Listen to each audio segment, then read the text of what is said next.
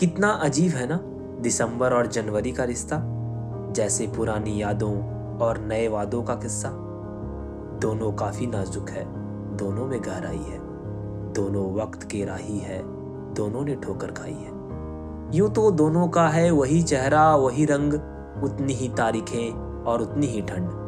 पर पहचान अलग है दोनों की, अलग है अंदाज और अलग है ढंग। एक अंत है, एक शुरुआत जैसे रात से सुबह सुबह से रात। एक में याद है, दूसरे में आस।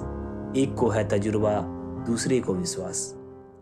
साल 2023 का अंत हो रहा है और साल 2024 की शुरुआत होने वाली है। दिसंबर और जनवरी के इस अजीब से रिश्ते की तरह साल 2023 भी अपनी पुरानी यादों और नए वादों का किस्सा लेकर आया था। इस साल में हमने कई नई चीज़ें सीखी और कई नई यादें बनाई हमने कई चुनौतियों का सामना किया, लेकिन हमने उनसे पार भी पाया।